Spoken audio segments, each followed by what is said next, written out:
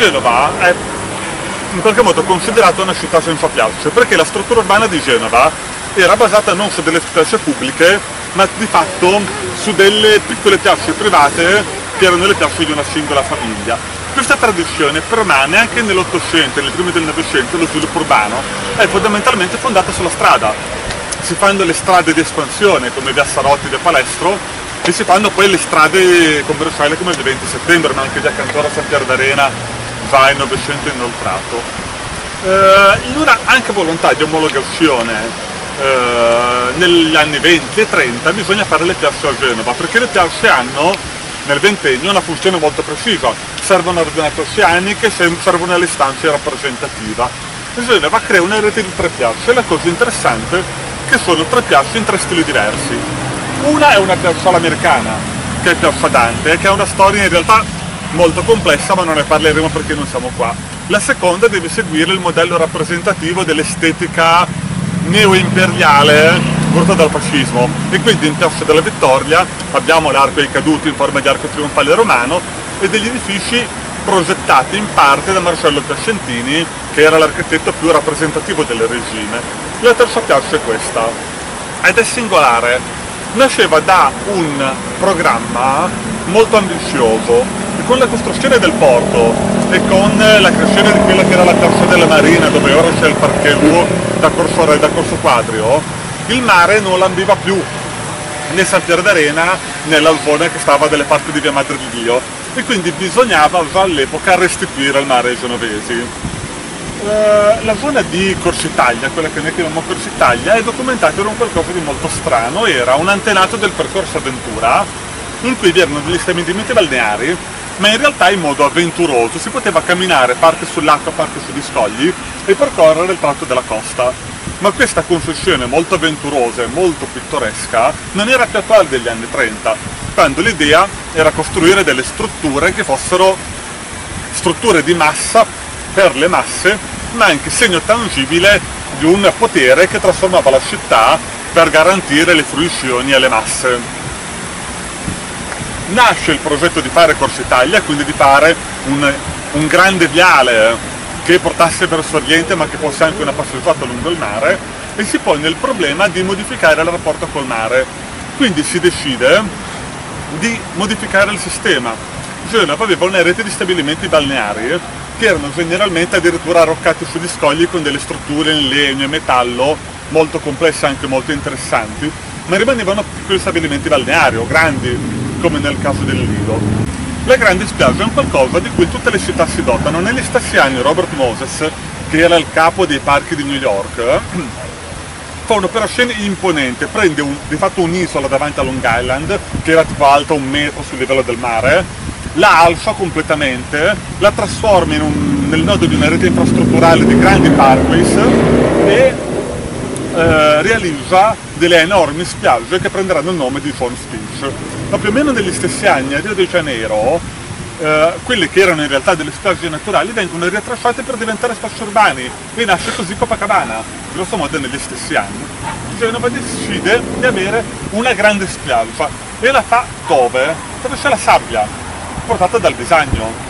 E quindi in realtà nella zona, che era la zona dei cantieri navali dove prima c'era stato il Lazzaretto, si decide di fare la terza delle piazze previste, non una piazza rappresentativa per le adunate oceaniche del regime, non uno sgodo di traffico sul modello newyorkese, ma un qualcosa che dovesse essere l'archetipo della nuova città sul Mediterraneo. Ed è interessante notare una cosa, davanti alla, spia- alla spiaggia c'era la piazza, la spiaggia viene concepita come una grande spiaggia pubblica, come un grande spazio pubblico. È interessante notare che per esempio ancora oggi Copacabana è un luogo dove fanno anche i concerti sulla spiaggia. In fin dei conti non è che se non hai l'asfalto muori, puoi anche tranquillamente montare un palco e organizzarlo su una spiaggia, quindi è uno spazio abbastanza flessibile, una grande spiaggia con un complesso che occupa l'area dei vecchi cantieri. Viene fatto un concorso e vince il gruppo capitanato da Luigi Carlo Daneri, un giovane architetto che si era formato con Piacentini e quindi era anche vicino agli ambienti romani. Eh, il progetto di Laniero è un progetto interessante. Eh, facciamo un passo indietro. questi sono considerati dei capolavori dell'architettura razionalista. L'architettura razionalista, come la conosciamo di fatto, prende origine da uno stile che si era diffuso prevalentemente in Germania in seconda battuta in Francia. Curiosamente gli architetti più conservatori in ambito tedesco consideravano l'architettura razionalista come una copia fuori posto dell'architettura del Mediterraneo, al punto che un quartiere razionalista costruito a Stoccarda era stato definito in modo denigratorio come una caspa. Quindi in realtà quello che viene realizzato qua è un'architettura che era stata codificata da architetti tedeschi, olandesi e francesi su modelli del Mediterraneo che sul Mediterraneo tornano. Un modello che troviamo è il modello delle navi. Gli edifici sono lunghi, hanno questo sistema, anche queste coperture, che in qualche modo richiamavano eh, le grandi navi da crociera, i grandi liner che in quegli anni collegavano Genova con New York. Il modello della nave era citato da tutti gli architetti del periodo come un modello di buona progettazione al passo coi tempi. Il progetto originale prevedeva gli otto edifici dal due lati, collegati da un basamento, e un grande edificio pubblico nella parte centrale che non verrà realizzato perché nel frattempo arriverà la guerra e che poi in realtà solo nel dopoguerra vedrà il comportamento del lotto con un tratto di più residenziale. La cosa importante è capire che in realtà questa piazza nasceva come un archetipo di piazza mediterranea eh, che era allo stesso tempo un richiamo alla mediterraneità e il massimo della modernità, su modelli più che francesi e tedeschi, su modelli curiosamente olandesi, meravigliose contraddizioni del moderno, e che era fatta per essere davanti allo scalpo. Cioè esiste per un periodo brevissimo, perché prima c'erano i cantieri, poi viene realizzato un nuovo complesso e poi in realtà dura in realtà per un periodo abbastanza breve la spiaggia poi molto rapidamente in realtà viene sostituita dal sistema. È interessante notare che prima vengono messi gli scogli quindi eliminano completamente la spiaggia, poi il disegno ora ha riformato la sabbia perché chiaramente la sabbia viene poi si deposita avanti. Chiaramente il deposito del bisagno va progressivamente ad avanzare alla linea di costa quindi in realtà come dire la costa era molto più arretrata. Sì, ma in realtà eh, come dire c'era un a Brignole c'erano sembra le palafitte perché come, come, dire qualche migliaio di anni fa praticamente vi era una sorta di porto canale che arrivava fino a Brignole. Quindi in realtà addirittura cioè, come dire, probabilmente qua era in parte zona fondabile, in parte Petrini, ma forse qua era proprio decisamente mare ancora. Eh, il, è interessante notare che anche politicamente la spiaggia aveva la funzione di spazio pubblico indistinto, diciamo, non gestito come gli stabilimenti. Eh, quindi in realtà è una questione complessa perché rientra anche all'interno di un, uh, di un discorso politico che uh, vede una serie di trasformazioni molto, molto radicali. Molto, basti pensare che al momento del, uh, dire, della progettazione di quest'area c'è anche dall'altro lato la copertura del disegno che però in realtà finisce per sovrapporsi alla costruzione delle case dei pescatori che erano in realtà state pensate come villaggio di pescatori Infatti. sostitutivo rispetto alle abitazioni che andavano perdute con la nuova edificazione che sostituiva i vecchi villaggi di pescatori. Comunque è l'architetto Daneri che ha fatto. Comunque questo complesso di Daneri. Daneri. E contrariamente Prima a... della guerra ha detto. Allora, il, il, progetto è della metà degli anni 30. Eh appunto. Eh, viene poi completato dopo la guerra. Diciamo mille anni di storia di Genova concentrati in tre minuti. Eh? Una delle cose interessanti della città è che Genova è probabilmente il primo comune in Italia, non sappiamo, documentato sarebbe la Zise, ma Genova già 80 anni prima, stiamo parlando del X secolo, quindi prima del 1000, riesce a strappare al re d'Italia, che era Berengario II, una serie di concessioni che in pratica configurano il comune. Perché dico questo e come si ricollega a quello che dicevi prima? Sì. Genova non ha piazze perché quando comincia a delinearsi il tessuto urbano della città del 200 ha già un'organizzazione, si è già organizzata socialmente e non ha bisogno di queste piazze dove radunare tutti, perché ha già le sue compagne, i suoi nuclei familiari, i suoi nuclei corporativi. E quindi in questo modo Genova non ne ha bisogno, non ne fa, diventa quella che è una città fatta di direttrici eh? ed è questo che la rende simile a New York perché New York essendo la differenza che c'era tra le città capitali che essendo capitali e dovendo rappresentarsi hanno degli sfondi prospettici, pensate ai fondali di Roma o di Parigi, Genova invece è una città dominante, una città in cui gli assi devono collegare, le persone si spostano da una parte all'altra e si autorappresenta significativamente vista dal mare. E visto dal mare tutto questo complesso ha una cosa spettacolare. Questo, questo fatto di vedere la città, le colline e vedere complessi come questo e quello di cui si parlava prima, cioè l'NVIC, era veramente uno spettacolo. Noi adesso che arriviamo nelle città o con i pullman o con l'aereo non ce ne rendiamo più conto, ma all'epoca era qualcosa di veramente significativo. Eh, una scena sulla configurazione urbanistica. Una strada così larga con la viola centrale è abbastanza consueta come espressione della costruzione urbanistica degli anni 30.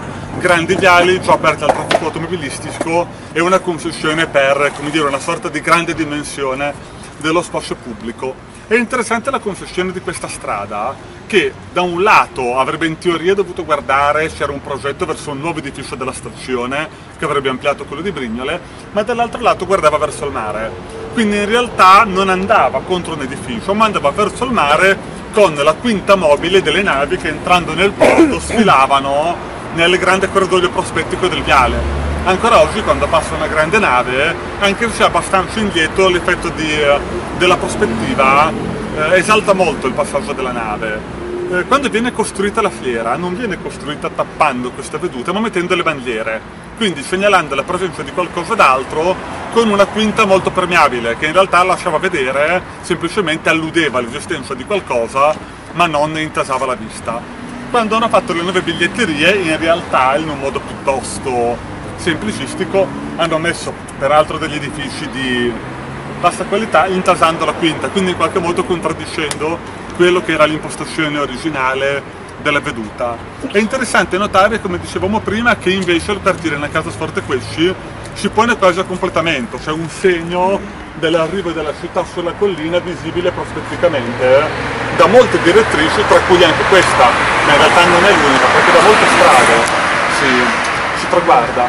C'era comunque in questo tipo diciamo, di, di pianificazione che in altre città come Roma aveva un senso abbastanza diverso, questa concessione che tendeva a privilegiare il paesaggio rispetto all'esaltazione dell'architettura, non mettendo un edificio monumentale come quinta finale di una grande strada, ma lasciando che la vista spaziasse dalle colline al mare.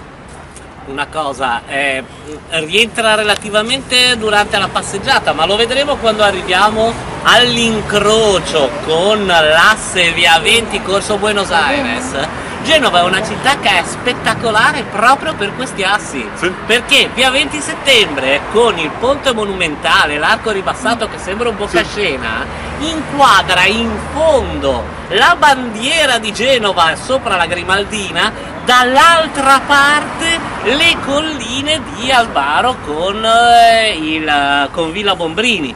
Quindi è una città che ha questi effetti visivi improvvisi che noi oggi oggettivamente scialiamo un po' e per l'appunto qua ci sono le biglietterie, dall'altra parte c'è Corte Lambruschini che taglia esattamente a metà le colline. Però questi assi visivi erano una componente importante della città e che dava un effetto monumentica. Questi, questi assi erano fatti non su delle architetture, ma sulla forma della città e delle colline e l'aspetto del mare. Quindi era il modo in cui i progettisti dicevano noi sappiamo dove ci troviamo ed è più importante questa morfologia rispetto alle nostre stesse architetture. Era una forma, tra virgolette, di umiltà che si è un po' dimenticata col tempo. Un ultimo accenno, un po' tragico, vedete l'ex distributore di benzina? Una volta non era un, un ristorante, una volta un ristorante. Ah, esatto, era il ristorante San Pietro. Sì, eh, eh, bravo. è considerato Pensavo di come si chiamava, come si chiamava San Pietro, è eh, vero? come dire, purtroppo ancora oggi Stazione Emanuele come uno degli esempi più importanti del razionalismo italiano, ma in realtà oramai è completamente illegibile perché buona parte della qualità era negli arredi, che erano molto attenti e molto raffinati e che si sono persi da lungo tempo. Quindi rimane a tutt'oggi, quello lì, Sì. vecchio, diciamo. quello vecchio piuttosto sì. malenardese, che è stato sono- anche tagliato. Ci sono Ah, ecco. i migranti. una Eh, sì. A volte è uno dei limiti delle impostazioni, per cui mh, credo che esistano come di dire, delle forme di tutela di un edificio che è stato un capolavoro di architettura razionalista, però dove in realtà l'aspetto interessante erano gli arredi più che la struttura in sé che in realtà. Quindi in realtà paradossalmente abbiamo conservato un vincolo ma non abbiamo né eh, a quanto pare come dire la volontà che non sarebbe teoricamente impossibile, viene fatto in altri paesi, di provare a ricostruire gli arredi dalla documentazione originale, ricostruendo un falso ma in qualche modo verosimile per capire cosa poteva essere in origine, però dall'altro lato come dire ci teniamo un edificio vincolato che in realtà non si dice più assolutamente nulla di quello che questo edificio era, rappresentava e delle sue qualità.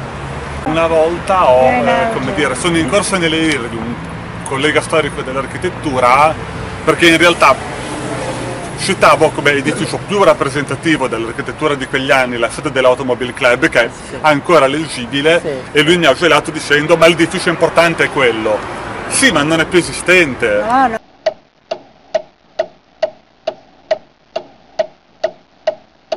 creare comunque un brano di città rappresentativo.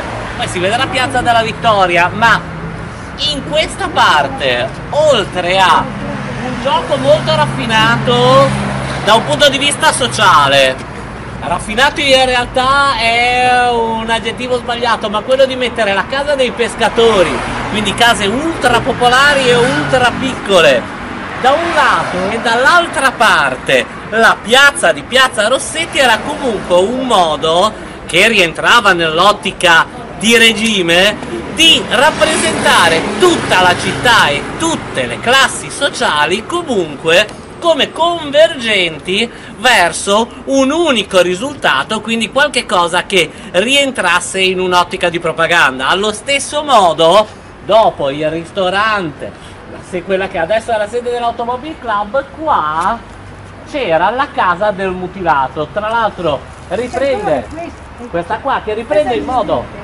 spregiudicato il modo delle strisce bianche e nere che sono quelle tipiche della tradizione genovese fa un po' impressione vedere in un edificio del fascismo la frase la guerra è la lezione della storia che i popoli non ricordano mai abbastanza e pensare al discorso della dichiarazione di guerra 8 milioni di baionette eccetera eccetera quando l'altro là dietro là in fondo contemporanei poi lo vediamo nell'arco monumentale ma contemporanei al monumento all- all'edificio c'è un monumento di Baroni con i mutilati eh, che è impressionante perché con le immagini di questi sarebbe quello lì fuori. No, quello lì fuori è la patria, ma là su un angolo in bronzo c'è queste le tre statue dei tre mutilati che è veramente impressionante. Ed è un modo di vedere il dramma della guerra clamorosamente moderno. Là Ah, sotto. io ho visto che mi sono Là sul lato, sulla, sulla parte del Ah, giardino dicendo proprio in fondo lì. Cioè ci sono tre statue di bronzo Una cosa abbastanza interessante è che qua si vede il confronto tra una concessione ottocentesca e una della prima metà del Novecento. Quello che noi vediamo in quella zona verde eh, è, eh, che ora si chiamano Borghi di Cocco, erano parte di un grande parco ottocentesco che faceva parte di una rete di parchi che poi connetteva attraverso un sistema di viali la Cassola, Villetta di Negro, su attraverso via Bertagna fino a Villa Crubere e a tutti i giardinetti del centro storico e creavano una rete in cui lui non poteva muoversi per la città tra viali e parchi. Il parco ottocentesco come pensato? Come un sistema di vialetti in mezzo al verde. La concessione diciamo più novecentesca dello spazio urbano invece voleva la crescita di quinte architettoniche e si cominciò costruendo due edifici pubblici, la questura e la casa del mutilato, in un'ipotesi di completamento della quinta architettonica, quindi avere una palazzata completa e eh, quando viene costruito il viale non viene tanto pensato come un viale con dei percorsi, ma come un viale molto ampio con dei grandi marciapiedi, ma col verde al centro. Quindi con un verde decorativo molto scenografico, paradossalmente si è visto dall'aereo, anche se all'epoca i voli commerciali non erano ancora diffusi, però fatti per essere visti dall'alto. Eh, quando è stato, eh, come dire, quando durante la redazione dell'ultimo PUC, anzi del penultimo PUC di quello non approvato, era stata avanzata l'ipotesi di modificare l'assetto di via Brigate, dicendo passare dalla aiuola centrale, che di fatto non è fruibile, a il traffico da un lato e un grande spazio, quindi un grande parco lineare che avrebbe in qualche modo potuto connettere i giardini davanti a Brigale eh, per poi connettersi fino a Corso Italia. Però naturalmente questo, questa idea non, per ora non ha avuto seguito, in parte perché eh, giustamente è vista una confessione storica originaria con la poco fruibile aiuola centrale, che però è quella che testimonia diciamo, lo stato iniziale di questa cosa e in parte perché in, un, dire, in una confessione dove in qualche modo il parcheggio prioritario, tutto sommato l'opportunità di sospendere un attimo le ricreazioni della Liuola e fare un grosso parcheggio è stata giudicata diciamo, politicamente preferibile. Quando viene costruito il grattacielo di Piazza Dante, viene costruito un grattacielo, viene costruito un teatro alla base del grattacielo. Buona parte degli eh, edifici di via 20 settembre avevano un teatro o un cinema alla base. Quando viene costruita questa parte di è praticamente in realtà quasi l'usanza di costruire un teatro e di costruire un edificio pubblico alla base dell'edificio, che in realtà è anche un modo per dare valore al complesso edilizio. Corte Lambruschini è l'ultima volta in cui questo viene fatto. Uh, ora praticamente non abbiamo più teatri in via 20 settembre, quando Corte Lambruschini viene costruito ce n'erano ancora, però è interessante vedere la permanenza di alcune tradizioni, eh? Per cui gli edifici avevano un teatro, una base, o un teatro, un film alla loro base, e questo elemento continua. Eh, quando viene costruita Corte Lambruschini siamo in una fase in cui in qualche modo eh, si continua a pensare che il futuro di Genova sarà espandersi sull'economia che viene chiamata dirigenziale. Eh, oramai i genovesi sanno che le grandi fabbriche stanno andando altrove, ma sperano di continuare a tenere le funzioni direttive a Genova, cosa che largamente non accadrà. E quindi in realtà si preparano costruendo delle torri a specchio che un po' come accade negli stessi anni nelle città americane sono l'edificio che viene generalmente associato alla, alla sede di una grande corporation. Cortella Bruschini in realtà finisce quindi per essere eh, il controaltare a levante del quartiere di San Benigno. Rispetto a San Benigno presenta qualche vantaggio, non è staccato dalla città, non implica una, una viabilità ed è più genovese in due cose. Ha un teatro alla sua base e ha un marcato gusto per il pittoresco. Rispetto al carattere in realtà abbastanza semplice del semplice edificio a parallelepipedo di, di San Benigno, qua si studiano dei dispositivi come passaggi sopraelevati, passerelle, collegamenti, diversi livelli, eh, che in qualche modo erano un segno distintivo.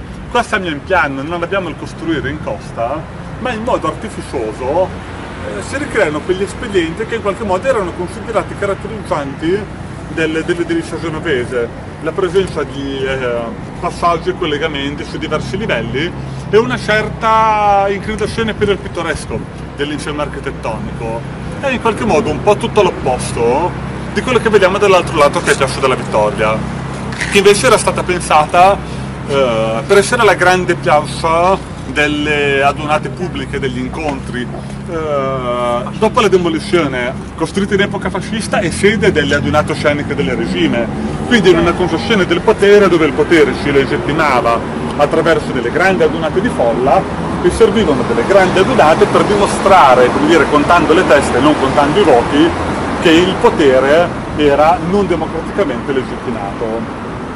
Eh, è interessante notare come noi qui vediamo i piloni che sostenevano il bruco. Eh sì. Il cosiddetto bruco eh, che hanno finalmente elevato dopo.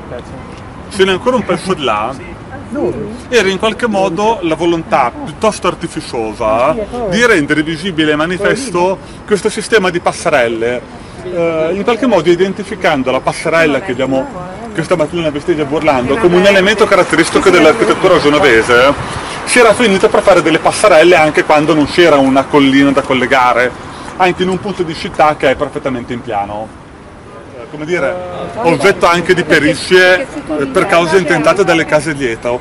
Quando allora, Corte Lambruschini da- è stata costruita su terreno alluvionale, è una struttura assolutamente imponente, quindi non si potevano fare semplicemente dei pali, quindi è stata fatta una grande platea, una specie di grande vasca sotterranea che sostiene l'edificio e ospita i parcheggi. Nel costruire questo grande volume sotterraneo hanno naturalmente cambiato l'equilibrio delle acque di falda che passavano ed è stata fatta una causa dalle case dietro, da San esatto, Fruttuoso a addirittura nella Valbisana del Bisano. quindi in realtà modificando diciamo, l'assetto idrogeologico sotterraneo eh, si è finito per danneggiare anche con umidità di risalita e anche con eh, come dire, scioglimento delle fondascelle le case dietro. Perché chiaramente questo tipo di struttura ha una dimensione imponente per il fondo su cui posa, ma anche diciamolo pure sovradimensionata per una città che già all'epoca perdeva abitanti. Quello che di massima era la considerazione largamente diffusa negli anni 70, 80, 90 fino agli anni 2000 è che in qualche modo se si costruivano gli uffici poi qualcuno li avrebbe occupati, se si costruivano le case gli abitanti in qualche modo sarebbero arrivati e tutto sommato comunque non bisognava mai dimenticare che con la deindustrializzazione l'edilizia rimaneva forse più importante comparto cittadino. Però Credo scusa, che... posso chiedere una cosa, anche Milano stesso per un errore del genere non lo farebbe in No, non penso. E qua invece? Eh, Cioè, credo- cosa c'entra una questo? cosa, Non c'entra ah, niente sì. qui. Volendo potevi farla a San Pier d'Arena, potevi Il problema- già avere un'idea di sviluppo di una città da un'altra parte. Anche Il San problema- Pier d'Arena ha la sua storia Sì, e no, però io dico San Pier d'Arena è il posto dove hai costruito palazzoni, ecco ci sta, magari Tipo una grande differenza è che San Benigno è sulla roccia del colle San Benigno, quindi almeno le fondazioni credo che siano molto meno problematiche, mentre qua è proprio in piano alluvionale. L'altra cosa che è, mh, allora, faccio soltanto il- la chiusura, Eh, faccio in realtà l'hanno fatto dopo l'alluvione. e l'hanno fatto dopo l'alluvione. Teniamo conto Sì. praticamente questo taglia, cioè il disegno prima sotto si allargava. Sì. Quindi Sì, esatto, pensate un perché- po' quando Ah, dopo diceva giusto. l'alluvione del 70? Sì. eh.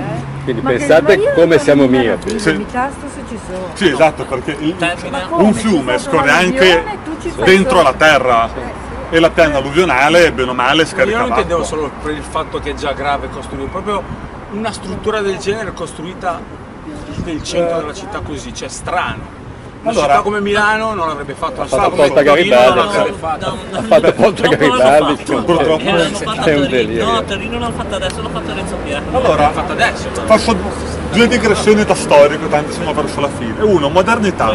La modernità è una di quelle cose che tutti pensano di sapere cosa voglia dire. In realtà, come dire, le modernità sono tante. Il problema di Genova è che Genova ha avuto molte modernità. A un certo punto la modernità si è fossilizzata e la modernità di Genova era una modernità molto molto vecchia. Ne faccio due esempi documentati, quindi presenti eh, storicamente. Quando viene costruito a Picapietra, i genovesi sono convinti di aver fatto una cosa incredibilmente moderna perché imitando Londra avevano demolito una fetta di tessuto storico per fare un nuovo quartiere degli affari e quando beccano le recensioni su Casabella cosa dice Casabella? non si capisce la retratezza dei genovesi che negli anni 50 sono ancora rimasti al piccone risanatore di Mussoliniana memoria. Cioè noi pensavamo di guardare a Londra ma un critico milanese pensava che noi guardassimo ancora al piccone risanatore di Mussolini.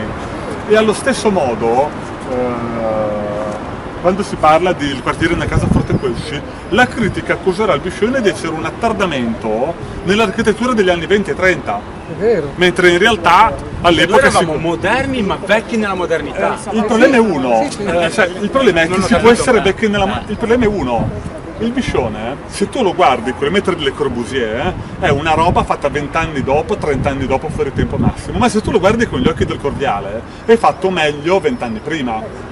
Il problema è che la modernità, eh, esiste Devi una... spiegare cos'è il cordiale perché se uno Ah, ecco, sa, il cor- allora, il Corviale è un edificio a Roma lungo grosso modo un chilometro, Orrore. eh, su due, è praticamente il biscione 10 volte più grande con problemi sociali immensi Mamma mia. perché è lungo un chilometro, alto tipo 11 piani ed è un corpo doppio Fatto Quindi è nulla. immenso, fatto da Mario Fiorentino negli anni 70. Nel nulla. Nulla.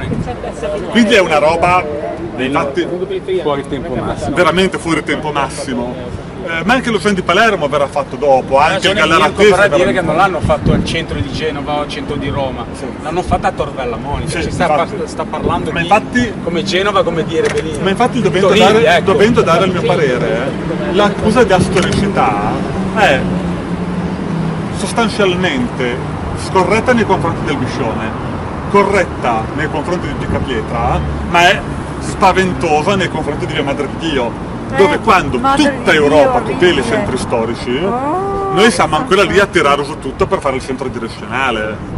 Peraltro il centro direzionale in un momento in cui di oramai è eh. abbastanza chiaro dove va con la casa di Paganini dentro. con casa dei Paganini dentro. Cioè, Per tutto fare giardini di plastica orro- orribili. Eh, quindi eh, quello che vale il come problema è esiste una celebre frase plastica, la Manfort regione. che dice ogni generazione Ah, ecco, litiga con i propri padri e si riconcilia con i propri nonni. La verità è che ogni modernità è un guardare indietro e naturalmente, come dire, i padri ti diranno di, guard- di, dire, di essere antiquato, magari i figli penseranno di essere moderni, i nipoti si riconcilieranno con i padri, litigheranno con i loro padri e quindi in realtà in questi aspetti in qualche modo ciclici eh, chi ha fatto questa cosa pensava di essere moderna mentre per noi oggi la leggiamo come una sorta di modernità arretrata, antica. Eh, diciamo che eh, l'Italia, per intendersi, cioè in Italia è ancora considerato moderno fare un edificio con i parcheggi, mentre in realtà dalle altre parti si considera che gli edifici urbani si fanno senza Cioè, tu parcheggi. vuoi dire da terra a terra, cioè quando in America giravano con le cinture nel 1950, noi le abbiamo avute nel 92, 1992, noi eravamo mo- moderni nel 1992.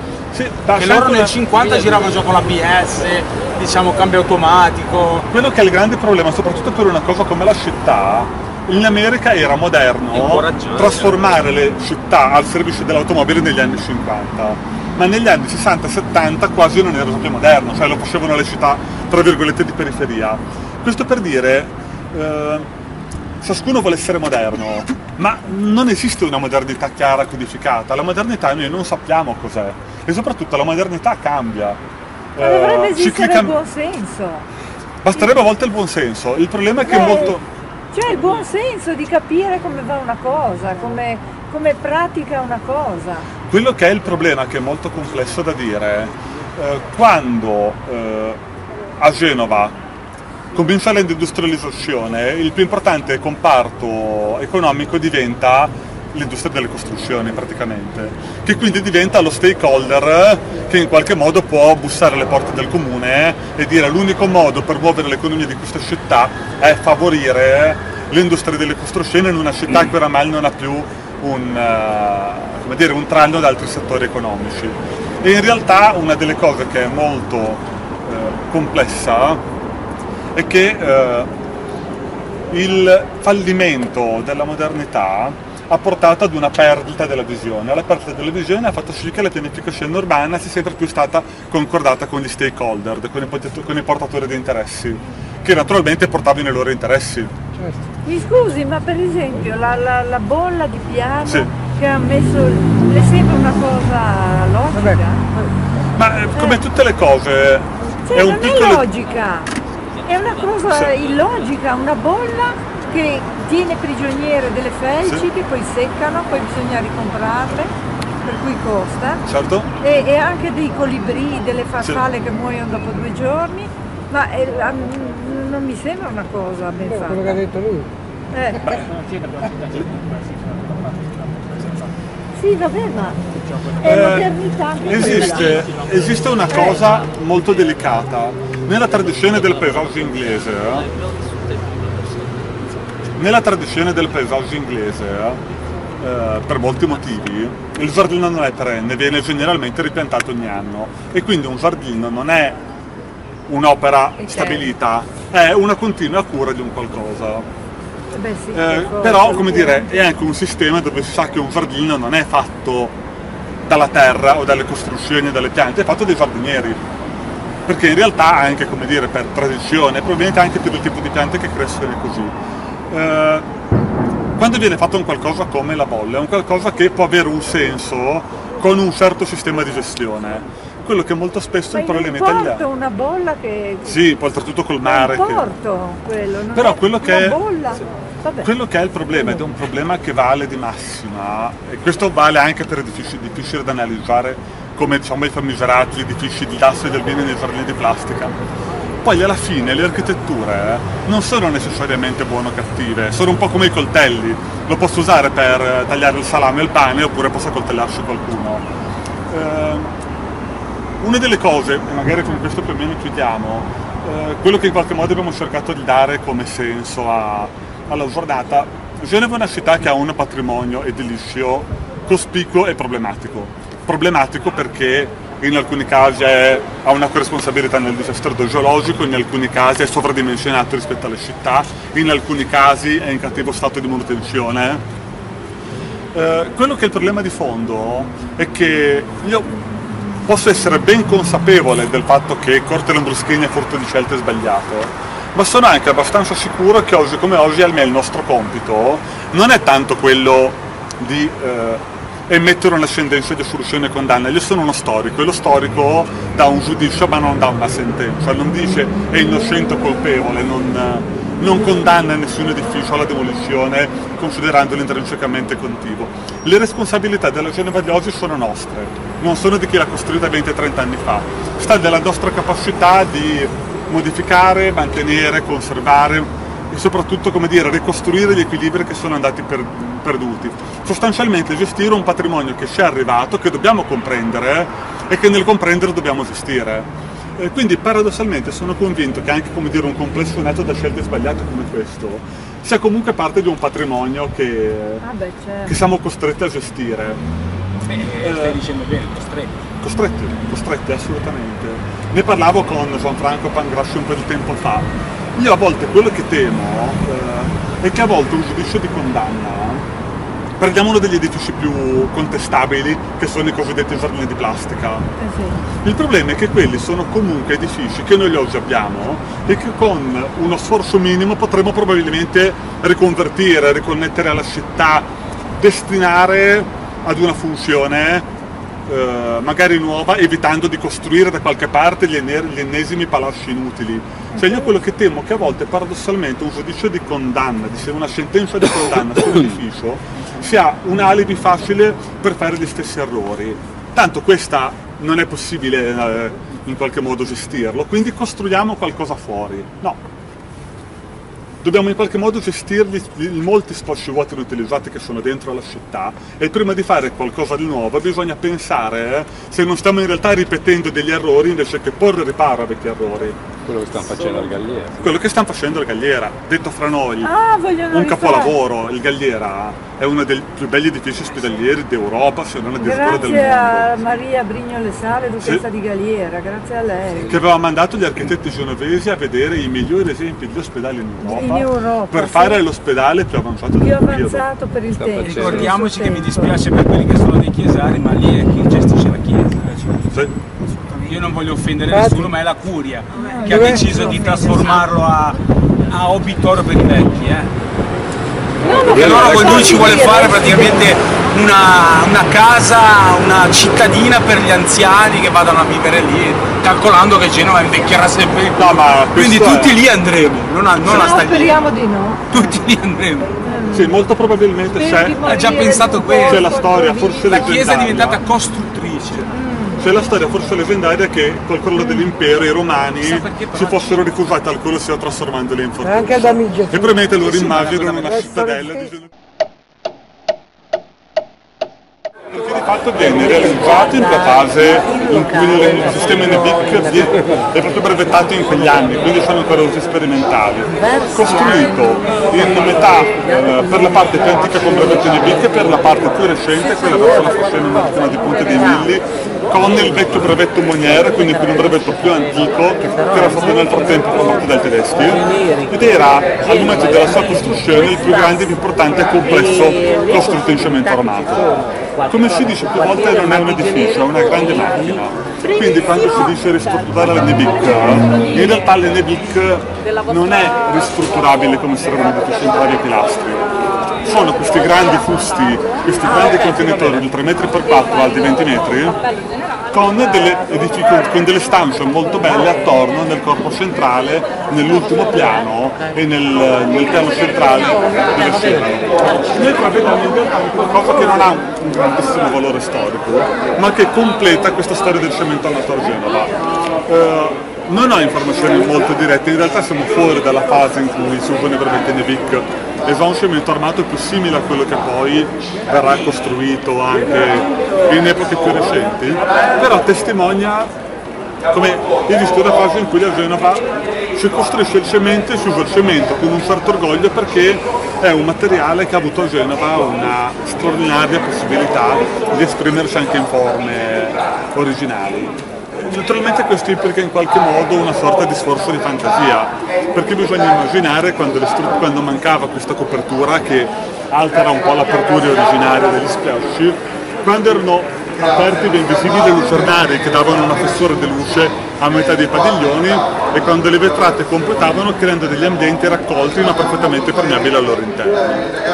Quindi quello che in realtà possiamo dire, in termini un po' generali, è che non è il pezzo più importante, però in realtà Genova ha un importante complesso di monumenti legati agli usi più antichi del cemento armato e comunque pur essendo forse una delle ultime testimonianze di questa fase, anche il mercato di Corso Sardegna risulta un complesso importante in qualche modo degno di entrare a far parte della storia dell'architettura genovese.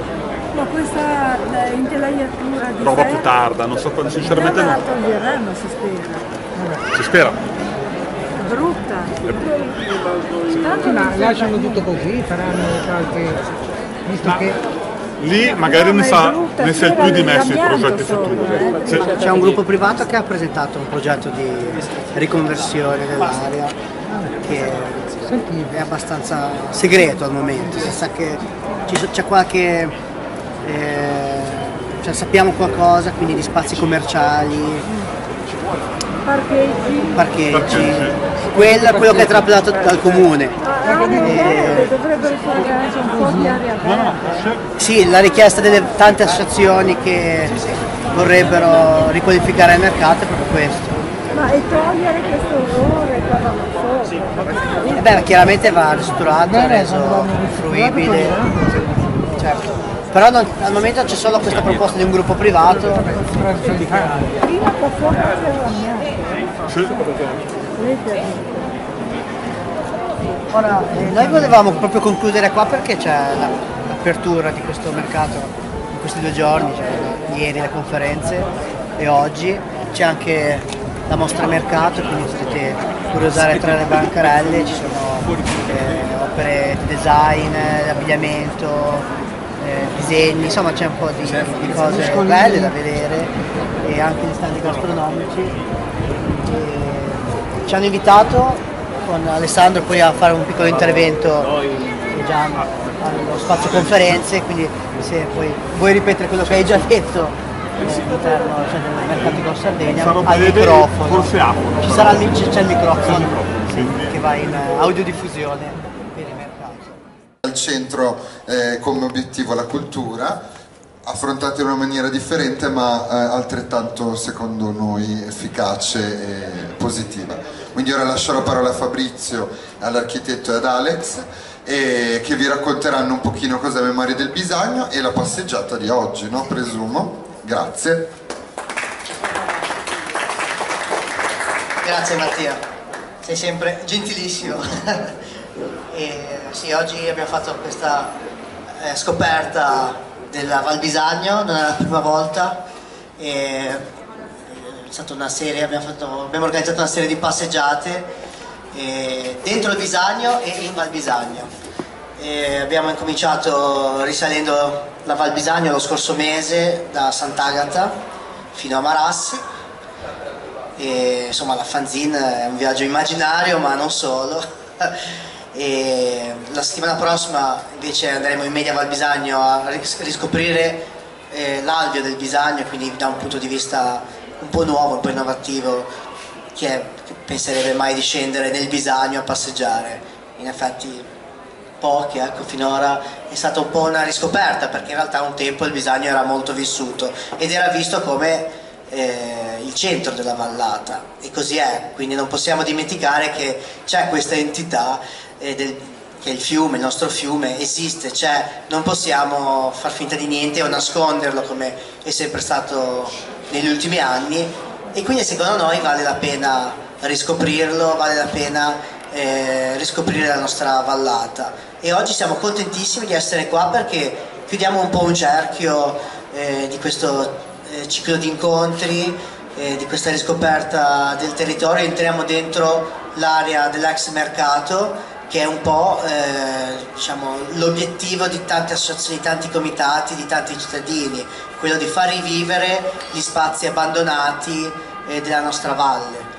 E è un'area che ha delle potenzialità incredibili che andrebbe eh, rivalorizzata e che andrebbe riaperto alla città e grazie a voi quest'oggi, ieri anche nonostante il brutto tempo, è stato possibile e questa è una cosa che mi ha entusiasmato. Ecco. Fino al primo momento in cui ho scoperto che avreste organizzato questo evento all'interno del mercato è stato veramente un conto alla rovescia per arrivare a questi due giorni bellissimi.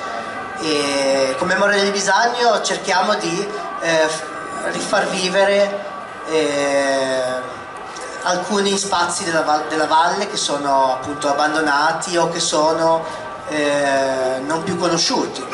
Il Bisagno è uno di questi. E altri spazi abbandonati come il mercato, i vecchi sentieri, i vecchi sentieri della vallata sono un altro aspetto che eh, vogliamo approfondire che noi ripercorriamo con gli esperti che di volta in volta ci accompagnano.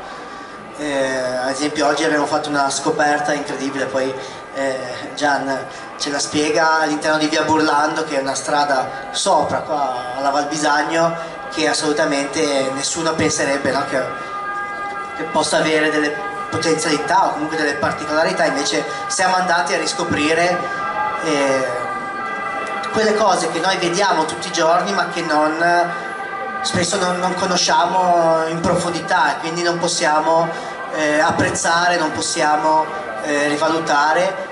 E questa diciamo, non conoscenza del nostro territorio ci porta poi a dire che la Val Bisagno è un luogo di periferia, è un luogo eh, dove fare un centro commerciale o fare un enorme mall non è un problema perché intanto la Val Bisagno non è bella. Questo è quello che noi vogliamo confutare, vogliamo affermare che la Val Bisagno è bella e ha certe bellezze e potenzialità che eh, in altre città avrebbero sicuramente già eh, diciamo, approfondito, avrebbero in qualche modo eh, fatto di questi punti delle potenzialità. Noi non siamo ancora stati in grado di farlo, ma la nostra idea è quella di provare a vedere la Val Bisagno da un altro punto di vista, da un punto di vista diverso, inedito e quindi anche fare passeggiate in luoghi non convenzionali fa un po' parte di questa, di questa idea. E ora lascerei la parola a Gian che è stato sì, la, la guida di questa mattina e vi ringrazio tutti, ringrazio Gossipium per la bellissima opportunità, per la bellissima riapertura del mercato. Grazie. Comincio ringraziando Fabrizio che ha organizzato le passeggiate di questa mattina, si sente ora? E che è stata comunque un'ottima opportunità per stimolare una riflessione sulla valle facendo qualcosa che non avrei in origine pensato di fare. Eh, mi occupo fondamentalmente come storico di architettura e la domanda che mi sono posto è la Val Besagno è interessante per la storia dell'architettura? E la risposta è che lo è. Eh, il problema casomai è nostro, è l'incapacità di vedere delle cose che sono interessanti. E questa mattina abbiamo fatto in realtà un percorso che apparentemente non era il più intuitivo da fare, che è cominciato da Via Porlando e che è andato poi più ad arrivare verso Staglieno al, al ponte Sifone sul Velino. Quello che in qualche modo è interessante e di cui molto spesso come genovesi non ci rendiamo conto è che dei luoghi che vediamo quotidianamente in realtà sono meravigliosamente unici hanno delle qualità che ci chiedono solo di essere visti. Molto spesso il problema è che per essere visti hanno bisogno di essere percorsi a piedi. Quindi semplicemente il fatto di passeggiare in posti che talvolta non si percorrono, si percorrono in macchina ci permette di cogliere delle nuove opportunità. Eh, e quindi forse l'invito che passiamo al termine di questa passeggiata, forse più ancora di raccontare cose che abbiamo già raccontato e che magari racconteremo di nuovo in futuro, è quello di camminare a piedi per la valle guardandosi attorno. Sono molto contento di chiudere qua per un motivo che forse in realtà è un po' marginale rispetto al giro di oggi, ma con cui abbiamo chiuso. Genova ha un patrimonio, un patrimonio molto consistente di architetture storiche. E una parte di questo patrimonio è dato da uno spaccato straordinario sulla storia dell'architettura in cemento armato. Uh, L'NBIC, molte volte citato, riassume in sé i due primi brevetti del cemento armato, era la più antica struttura in cemento armato eh, realizzata tra l'ultimo anno dell'Ottocento, il 1899 e il 1901, poi ampliato, e vi è a Genova un altro edificio altrettanto straordinario legato all'NBIC, che è il padiglione centrale del mercato orientale. Quando i mercati venivano generalmente costruiti in struttura metallica, quello è probabilmente il primo edificio pubblico costruito in cemento armato, è la prima volta che si usa una nuova tecnologia per costruire un edificio che non fosse né tecnico né privato, ma era un edificio destinato al, ad una funzione quotidiana come quella del mercato, ma anche destinato a essere un edificio pubblico. Questo mercato, il mercato di Corso Sardegna, è e resta un utilizzo interessante del cemento armato, è un edificio pubblico, è un edificio che ha in qualche modo delle qualità che chiedono soltanto di essere riscoperte, soprattutto per un motivo, perché in realtà è un grande spazio pubblico ed è un grande spazio pubblico permeabile, pensato in qualche modo per, per essere fruito con una certa libertà. Eh, quindi quello che è il ringraziamento che faccio agli organizzatori e l'invito che faccio al pubblico è quello di osservare il patrimonio spesso straordinario di architetture che si sono lasciate, che talvolta sono straordinarie per le soluzioni originali trovate per gestire gli spazi. Oggi abbiamo guardato in via Orlando queste incredibili passerelle che connettono le strade con, eh, con i vari palazzi che sorgono nei dintorni, ma a volte sono edifici, come in questo caso, perché sono un pezzo di una storia, che è una lunga storia, che comincia fino da degli usi ancora pionieristici in un nuovo materiale come era più di cent'anni fa il cemento armato, ma che sono anche interessanti perché hanno una concezione di spazio pubblico che proprio in una manifestazione come questa vediamo essere ancora attuale. E con questo vi ringrazio, cedo la parola.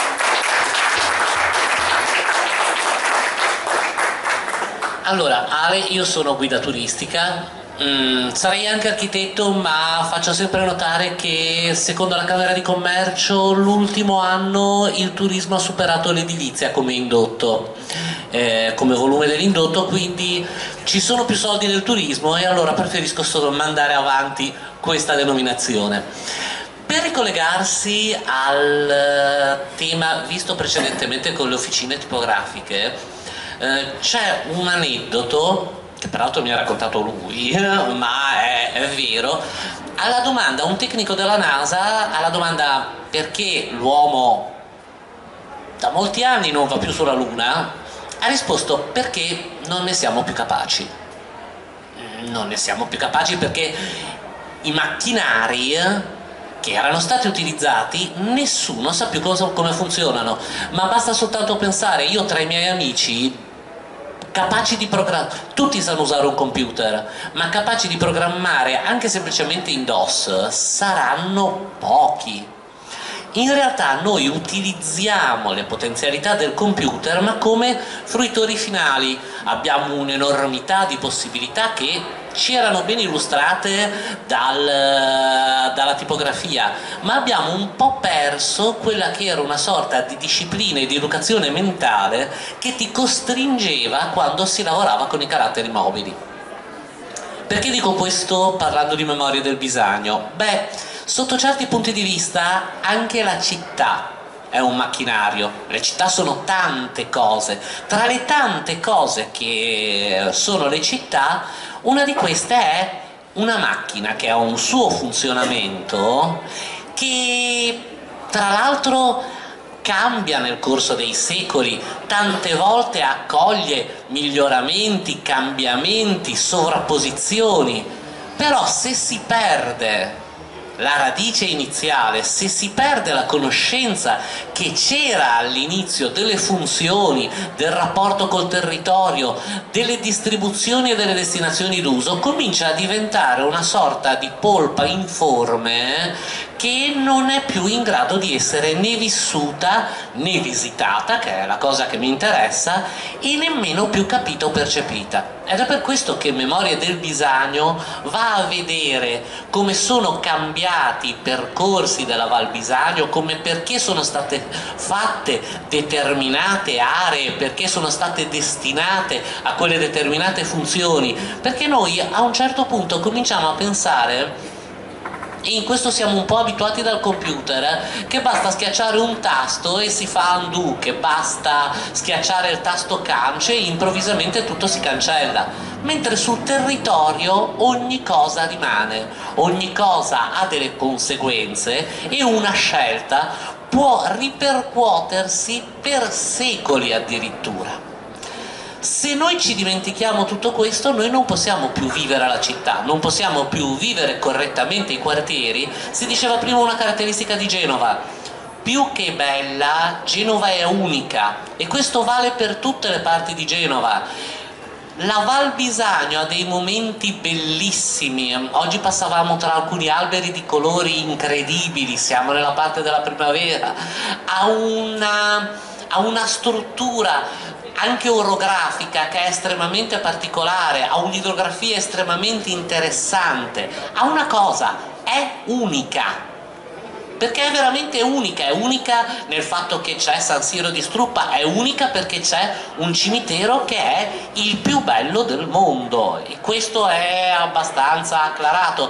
Perché? Perché è il più vario, ha un carattere monumentale, un carattere ordinato, razionale e anche una parte paesistica ha diversi insediamenti, ha alcune tra le case popolari più interessanti di tutto l'Ottocento, ha degli insediamenti degli anni 50-60 che vanno compresi e va anche capito perché le strade ci arrivano e salgono, ha un'infinità di strutture destinate ai servizi, c'è lo stadio, una volta prima, oggi siamo partiti dall'inizio, dalla spiaggia dove una volta c'era il lazzaretto, poi c'erano i cantieri, vicino c'era eh, il manicomio dall'altra parte che era oramai, oramai praticamente dove c'è da via 20 settembre, ma tutto in quest'ambito enorme che era la Val Bisagno che una volta era l'area da cui venivano i besagnini. Quindi il prodotto di quel po' di verdura fresca che arrivava in città che per inciso era considerata la cosa più preziosa, perché Genova aveva tutto col commercio, anche la carne arrivava col commercio, ma la verdura fresca veniva soltanto dalla Valbisagno. Eh, tutte queste cose si sedimentano insieme. Se se ne perde la memoria, cominciano a succedere delle cose strane, il bisagno si comporta in un modo strano, gli autobus si arrampica in alcune parti e uno non sa più perché se noi le ricostruiamo e impariamo perché tutte queste cose sono nate, sapremo anche meglio come comportarci nelle scelte che dovremo fare domani.